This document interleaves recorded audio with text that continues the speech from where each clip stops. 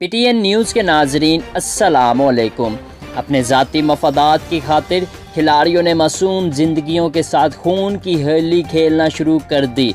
जी हाँ दोस्तों, आर्मीनी अजरबैजान जंग में ताज़ा तरीन इतलात के मुताबिक साजिश किसी और की नहीं थी, बल्कि अमरीका और इसराइल का एक नया घिनौना मंसूबा है, जिसको पाया तकमील तक पहुँचाने के लिए अमेरिका ने सरधर की बाजी लगा दी। काराबाग तनाज़े का असल महवर आखिर कौन है? काराबाग पर मुनाफ्त कौन कर रहा है? क्या ये तेहरान के लिए एक डरावना ख्वाब है? रूस और तुर्की क्यों इस जंग में एक दूसरे के आमने सामने खड़े हैं? ताज़ा तरीन सूरत हाल इस वक्त काराबाग की क्या है? क्या जंग बंदी हो चुकी है? पाकिस्तान और पाक फ़ौज का इस जंग में क्या किरदार है? भारतीय मोदी मीडिया इस जंग में पाकिस्तान को क्यों धकेलने लगा है? आज की वीडियो में तमाम हकाइक से पर्दा उठाएँगे। दोस्तों हमारे चैनल को सब्सक्राइब कर दें ताकि हमारी आने वाली वीडियोस बर वक्त आप तक पहुँचती रहें। काराबाग का तनाज़ा आहिस्ता आहिस्ता पूरी दुनिया के ममालिक को अपनी लपेट में ले लेता हुआ नज़र आ रहा है और माहरीन के ख्याल में होगा भी यही क्योंकि अगर इस तनाज़े को बर वक्त ना रोका गया तो ये बड़े ममालिक को भी अपनी लपेट में ले लेगा। और अमेरिका चाहता भी यही है, क्योंकि अब जंगों के अलावा अमेरिका के पास कोई काम करने को रह भी नहीं गया।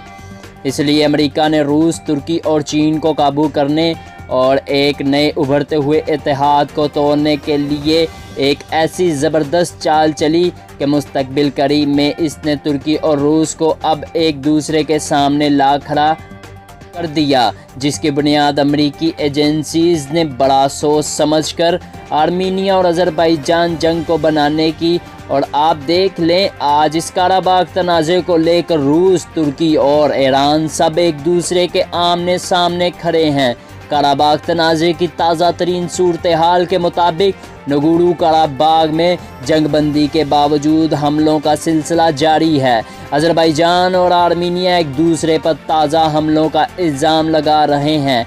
आर्मीनियाई वज़ीर दिफा ने कहा है कि आर्मीनियाई फौज ने रात के चार अजला के मुख्तलिफ़ इलाकों में शैलिंग की। दूसरी तरफ़ अजरबैजान के सदर का कहना है कि अजरबैजान के फोर्सेज ने काराबाग में मजीद तेरह इलाकों का कंट्रोल हासिल कर लिया है। अकवा मुतहदा के सेक्रेटरी जनरल ने दोनों ममालिक में जंगबंदी की मुकम्मल पासदारी का मुतालबा कर दिया।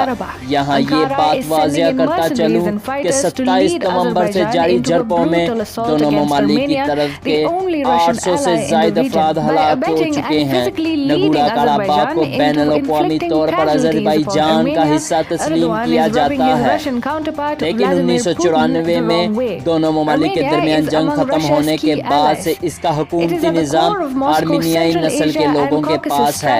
हालिया सालों में नगुड़ा काराबाग में आर्मीनिया और अजरबैजान के दरमियान होने वाली ये सख्त तरीन लड़ाई ही। है दोस्तों अमेरिका ये चाहता है कि मशरक वस्ता और एशिया में जो एक नया इतिहाद बन रहा था इसको फौरी तौर पर रोका जाए। मशरक वस्ता में बनने वाला अमेरिका बहादुर और इसके इतिहादी ममालिक के लिए खतरे की बहुत बड़ी गलती थी क्योंकि इस नए इतिहाद में दुनिया के ताकतवर ममालिक और दुनिया की ताकतवर फौजें शामिल थी। जी हाँ इस नए इतिहाद ने पाकिस्तान चीन रूस तुर्की और ईरानी फोर्सेस शामिल थी। जी हाँ वही ईरानी फोर्सेस ने इस साल के आगाज़ में हुसैनी झंडा लहराकर अमरीकी तोपों को खामोश और मिसाइल के रुख मोड़ दिए थे। अमरीका जानता था कि फौरी तौर पर इस नए उभरते हुए इतिहाद में दरारें ना डाली गईं।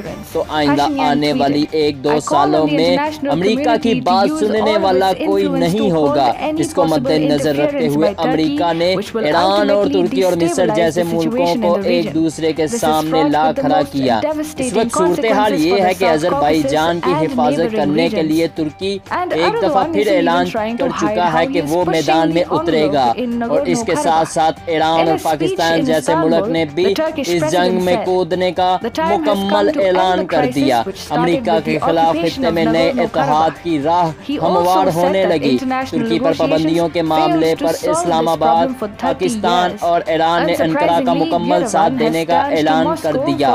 इस्लामाबाद में दफ्तर खारजा के तर्जुमान का कहना था कि एक तरफा पाबंदियाँ किसी मसले का हल नहीं जबकि तेहरान में हुकाम ने कहा कि अमरीका की गुलामी कबूल नहीं इकतसादी पाबंदियों के जवाब में तुर्की को तमाम तरह की मदद फराहम करेंगे। दूसरी जानब तुर्क सदर ने वाजिया तौर पर कह दिया है कि हम तजारती जंग का जवाब नए इतिहाद बनाकर और नई शराकतदारियाँ कायम करके देंगे वाजिया रहे कि रजब तैयब उर्दवान ने रूस के साथ पहले ही ताल्लुक बेहतर बना रखे हैं जबकि चीन अमरीकी इकदाम के खिलाफ पाकिस्तान के शाना बशाना है।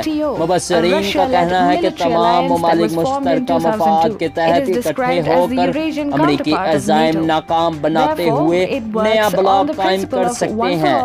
हफ़्ते के रोज इस्लामाबाद में दफ्तर खारजा से जारी बयान में कहा गया कि पाकिस्तान की हुकूमत और अवाम खुशहाली और तरक्की के लिए तुर्क हुकूमत और अवाम के साथ है। तर्जुमान ने आलमी अमन और इसकाम में तुर्की के काबिल ज़िक्र किरदार की तारीफ़ करते हुए उसे आलमी मैशियत में एक इंजन करार दिया और इस बात का अदा किया कि इस्लामाबाद अपने मुश्तर मकासद के हसूल के लिए अनकरा के साथ खड़ा रहेगा।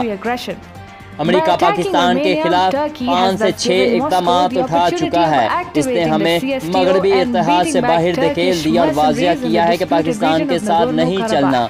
उन्होंने मजीद कहा है कि अमेरिका अभी तक हमारा फिजाई और ज़मीनी रास्ता इस्तेमाल कर रहा है। और पाकिस्तान से अफगान तालिबान को मुजाकर की मेज़ पर लाने की तो रखता है। उन्होंने मजीद कहा कि हकीकत में अमेरिका की तवज्जा चीन की तरफ़ है। हमारी तनहाई भी इसी वजह से है।